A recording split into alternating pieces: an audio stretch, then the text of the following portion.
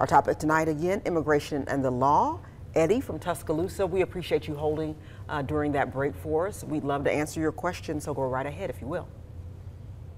Yes, it may have been answered from the previous caller, but uh, long story short, we officially filed for our green card.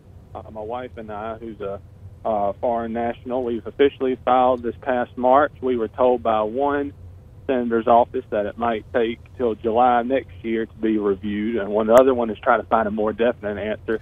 But my question is, so far as wait time, uh, if she were to come in on a visitor visa, get an interview and granted a work visa or of some sort while she's here on a visitor visa, will that jeopardize our current spousal visa case that we filed in March? It's a great question. So your wife is out of the country at present, correct? Yes, sir. Okay. And you are waiting for her interview at the consulate in whatever country she resides in?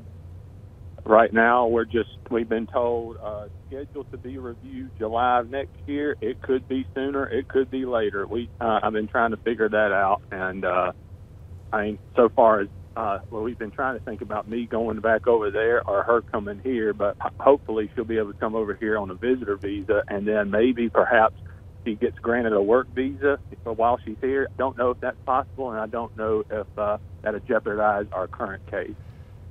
If you can go and if you can go and visit her, obviously that's the least risky. If she can qualify for a tourist visa, I mean, has she come over here on a tourist visa in the past? She she can, yes, sir. She Okay. has, and she currently has one. So she should be able to do that again. However, in coming over here, keep in mind that even though you have this pending um, application as a U.S. citizen spouse or a foreign national spouse, if she comes over on a tourist visa, her intent is to visit, not to work. Yes, sir. So see her, but don't put her to work until she's here on her green card. Because will those two conflict or will one cancel out the other?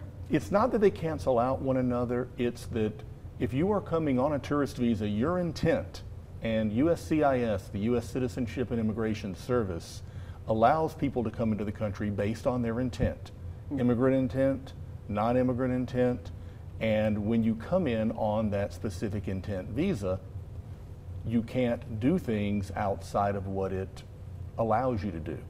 So, for example, if she came on her, her on her tourist visa, her period of time would be here to visit, and if she worked out of status, that could definitely jeopardize everything that you worked so long and hard to do.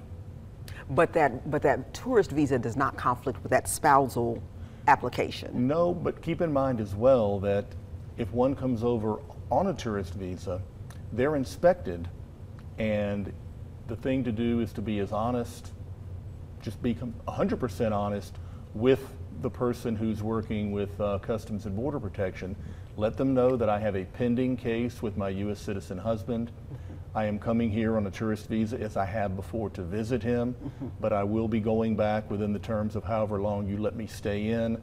I just want to see my husband and I want to see it here in the United States, but I am going to comply with what you want me to do. However, they could say, no, we think you're going to come over here and stay, so we're not going to let you in. So be prepared for that potential disappointment during the uh, pendency of this. But honesty, the best policy, and it sounds like you guys have been doing things the right way all along and just continue to do that. And best of luck to you. Yeah, I certainly wish Eddie luck.